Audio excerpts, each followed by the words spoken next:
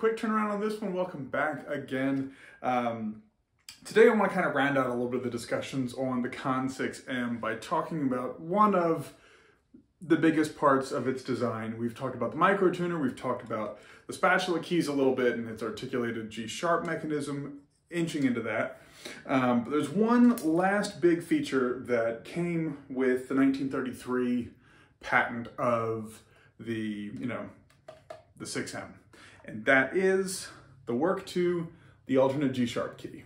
Now, the alternate G-sharp key was previously known as, and still is called, a, a G-sharp trill key today. Um, and its original function, it would work against the, the spatula designed key um, for the same note.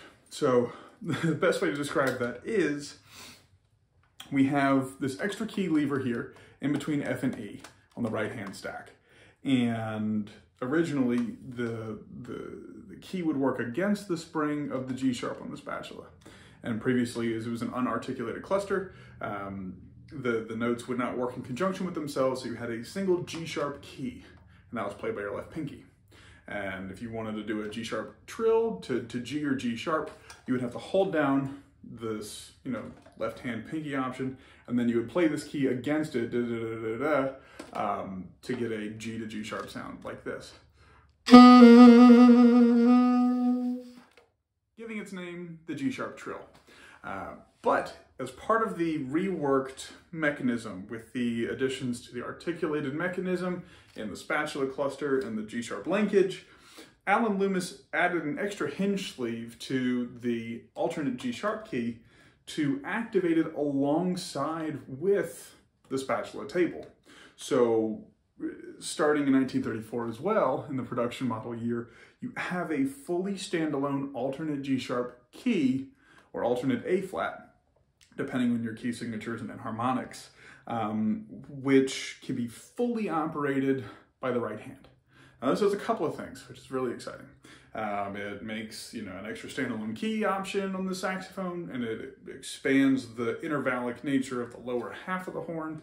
Um, you know, on a traditional saxophone, uh, one that doesn't have the alternate G sharp key, as those are no longer in current production.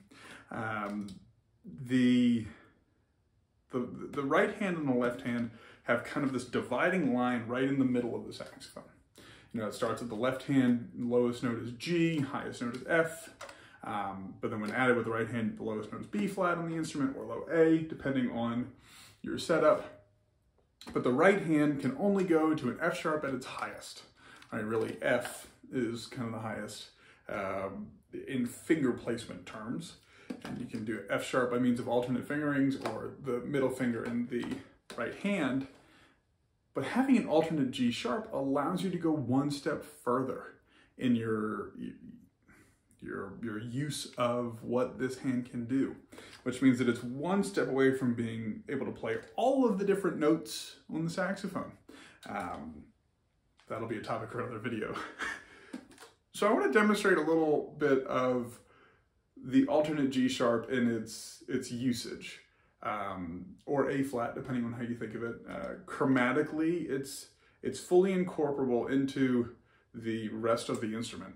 So you know that gives you a half step of G to A flat, or G to G sharp, or G sharp to A. Um, I'm to do a couple of things. I'm to really just try and utilize this alternate G sharp key and we'll see where the conversation continues from there.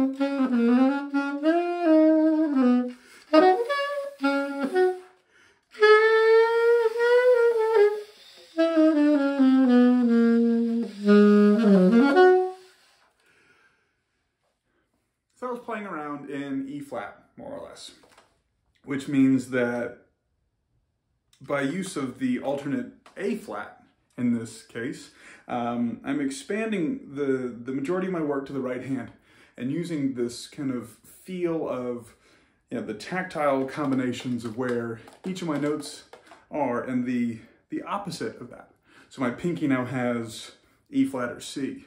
Um, F sharp can be in two places. It has this, but then also I can use my index or middle finger to give a new pivot point at A flat. Um, I really like using the alternate key because it expands the nature of what we can do on the saxophone.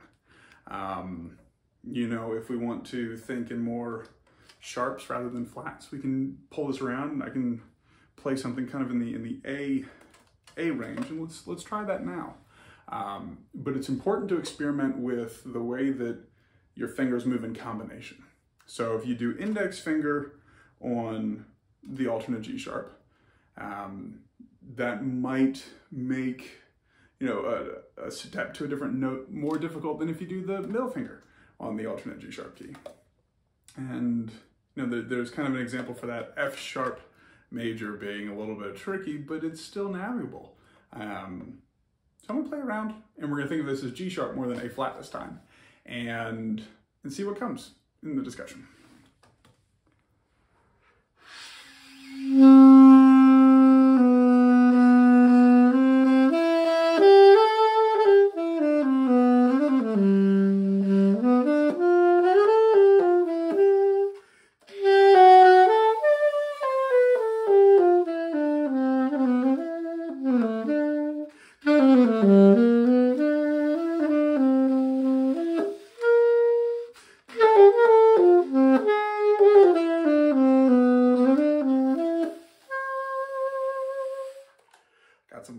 Thing at this point. Um, now, there was a passage in there where I did kind of an A, A7, like an, like an A dominant arpeggio, right? And this would be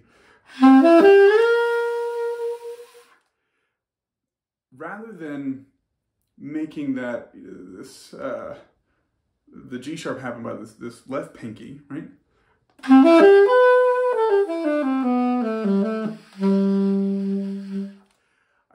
Happen all in the right hand.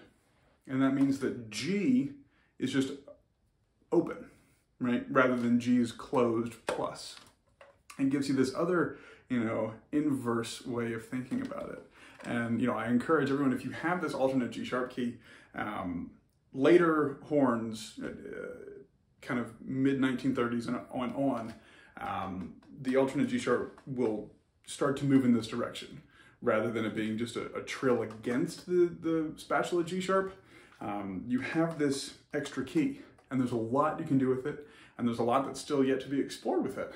Um, and I hope that you find a comfortable way to bring it into your playing because it's a really, really cool part of your new chromatic approach to the instrument.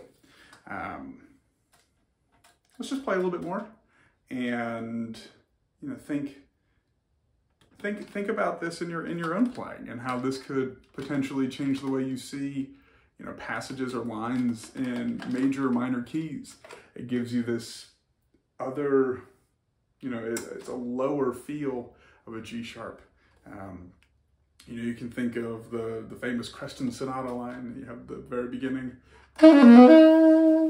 You just use a stronger finger rather than a potentially weaker one in the pinky that has to do less work now by just quickly moving in between your alternate keys. Um, so I hope you guys enjoyed this little mini presentation on the alternate G sharp key, and I'm sure there'll be more uh, fun things coming soon.